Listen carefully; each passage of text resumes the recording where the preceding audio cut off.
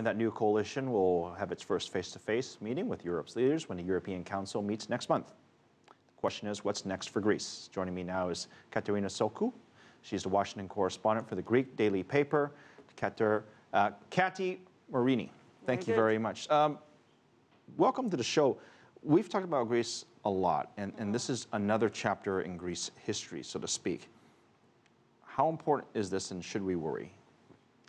It is an important change for Greek politics. The left, for the first time, is in power.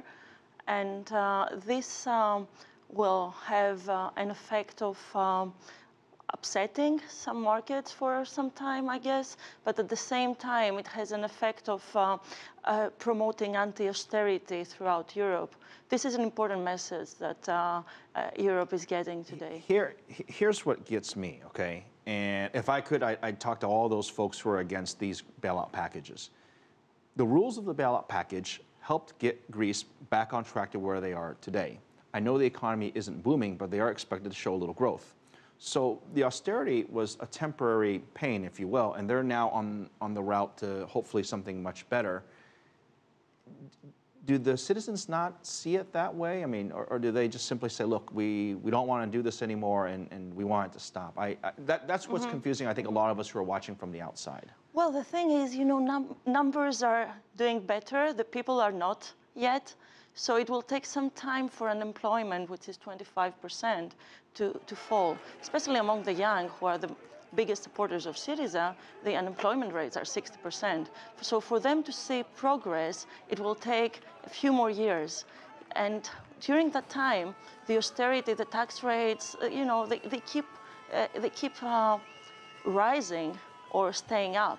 So this is what gets people and... Uh, they're, they're, they're angry. They're, they're angry because either not working or they don't have any money or they basically blame the government, yes. essentially, right? And this has been happening for five years now. So, so the, the, anger is amassing. It, it's, it's amassing. I, I suppose that's understandable. Um, Tsipras, though, he has, he has a lot on his plate as well, right? Mm -hmm. He really can't bust out of the euro, as some are saying that he's going to. He's going to just destroy the euro and, and jump out because that would annihilate the mm -hmm. Greek economy.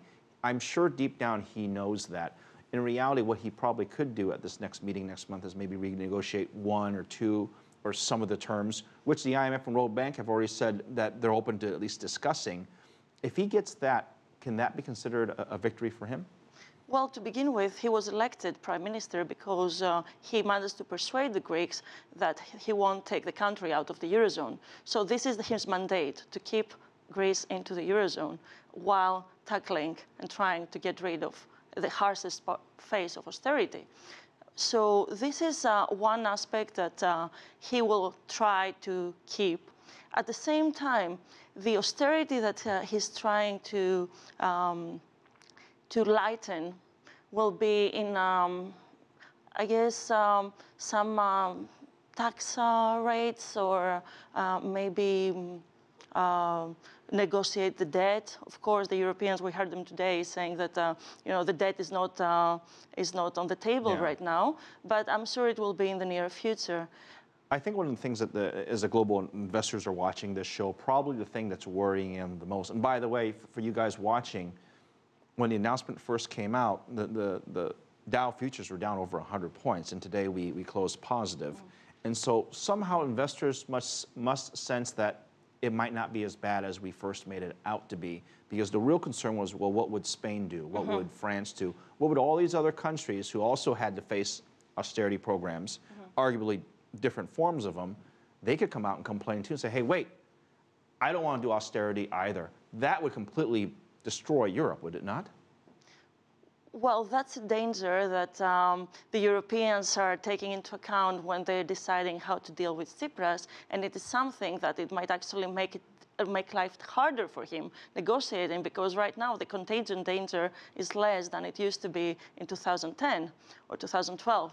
So right now, the, the, Europeans feel, and with the ECB taking this action last week uh, of buying government bonds, they feel that they can protect the other countries from a possible contagion of Greece exiting the Eurozone. So that might actually complicate the negotiations uh, because if they feel, I don't personally believe it, this is the case, but if they feel that contagion is no yeah. longer a problem there, they might actually be harsher uh, towards Tsipras than what Tsipras can take. So I'm going to end this with something positive. Mm -hmm. The last I checked, our tourism numbers in Greece were doing pretty good. Yeah, it was a record year. So that's got to help the economy. I mean, mm -hmm. there's a little momentum, right? There's good news for Greece, is there not? Yes, the economy started growing. Uh, we have a surplus after um, many decades of uh, deficits, and uh, for the first time, there is uh, potential for Greece to grow sustainably. Now, what uh, the new government wants to do is tackle tax evasion, bureaucracy, corruption. These are things, the establishment that has been uh, uh, associated with cronism. So these are things that could actually send a positive message to investors. Yeah. And uh, you know, with a little help from Europe, I think that Greece can well, uh, go back on the track. We're, we're out of time, but uh, at least we ended it on a positive note. Katerina, thank you, thank you very much for your time.